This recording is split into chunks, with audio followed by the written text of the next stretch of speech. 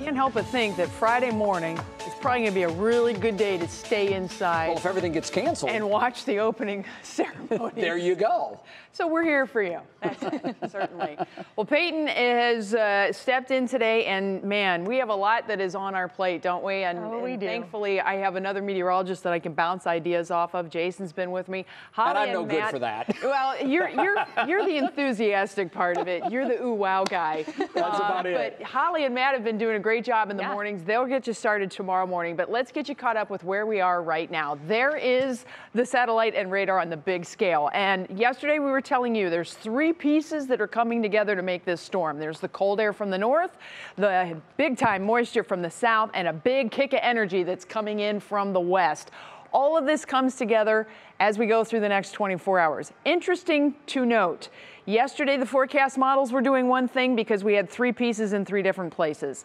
Today, the forecast models are doing a little bit better at keeping things tighter, a little bit better consensus because all three of our pieces are not only here in the U.S., but starting to come together tomorrow morning is going to be the one to watch because we'll actually have a storm system. We'll see how these three pieces come together, and that should really help us to hone in on our forecasts. It is going to ride right along a boundary, that cold front. This cold front has huge implications on our forecast because that is the changeover from the rain to snow. How far the front makes it through the area will determine who gets what and how much of what. Uh, but out ahead of that, we've got this beautiful day today 40s, 50s. But then I have to show you the fact that we have alerts that stretch over 2,000 miles from the Rio Grande all the way up to New England. And these alerts are not only winter storm watches, but winter storm warnings and, and advisories as well. We have both. We have a winter storm warning that goes Wednesday night through Friday morning for our lakeshore counties. And then farther south, it's a winter storm watch. Don't be surprised if we start to see more counties lining up in pink simply because we're starting to get into a better time frame and we're really starting to nail down the details details. At least the National Weather Service is going to be doing that. We don't issue the watches and alerts, but they will really kind of let you know, uh, and we'll let you know their messaging as we head through the night. So rain is the way things are going to start, and that's a concern. We've got melting taking place today. The drains are still blocked in most cases, and so now you're going to throw a little bit of rain on that. I'm not worried about rivers. What I'm worried about is road and street flooding, your property, all that standing water that's going to be hanging around as we get into our changeover time. And that looks to take place in the late evening and the overnight. The pink line is the delineation between where we have the rain, we get into some sleet, and then it's all snow farther to the north. And once that cold front comes in, and that's what the changeover is based on, as that cold front comes in, look at the temperature drop that accompanies it. So we are going to see a pretty rapid freeze up here. This is also going to contribute to the fluff factor. I can't stress enough how snow types, we are literally trying to forecast snow crystal types uh, to help nail down these exact uh, accumulation numbers. The snow crystals will be heaviest, wettest, densest, and probably a little sleety farther south. Meanwhile, west, it'll be nice and fluffy. So by 7 a.m. Thursday, we are are all snow with the exception of southern portions of Tuscarawas and Carroll counties where we're likely to have a little bit of that ice uh, going on, the freezing rain and some sleet. So very heavy snow along the lakeshore areas. And again, farther west, that's where the highest fluff factor is. That's why they have the higher snow accumulations out toward Toledo. But just this ice mix and snow, that's kind of a wide variety of accumulation potential here.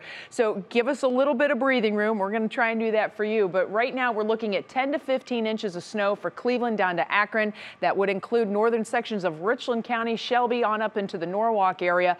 Sandusky and over to Toledo, that's where we could get higher numbers, over 15 inches. We could. Uh, still watching to see how that's going to evolve. But this 5 to 10 is going to be uh, a little bit heavier on the north end, a little bit less on the south end, and all of these numbers are going to start to shift around as we see this storm really start to line up. So I can't stress enough, it's all about the impacts, not the numbers. This will be a high impact storm. Very high impacts on the roads for air travel, for your school closings. Yeah, Thursday, maybe Friday too. Good chance. Uh, and then the power outage as well. But you have a chance to get ready for it. And Peyton has more on that. Yeah, and you were just talking about breathing room. The idea of having the breathing room for a final prep, well, that is going to happen this evening. So if you have the ability to get out, maybe head to the grocery store, maybe kind of tidy up around the house when it comes to moving that pile of snow that's been there for about a week on end, this is the night to do so. We're in for a few messy days, not only from tomorrow, but this takes us all the way through Friday. And then beyond that, we are in for another Arctic blast to come. So what stays in the way of not only just the wet slush kind of activity is going to freeze once again. So I'm going to take you through just our Union Home Mortgage extended forecast here really quickly because this drives the point home also here. 39 for your Wednesday, 27 though for Thursday, and temperatures falling sharply into Friday. We're only going to be back in the upper teens, and then we hang in the low 20s for the beginning half of the weekend here. And things get a little easier as we kind of breathe into next week together as well. But once again, Jay, this is something that we deal with time and time again.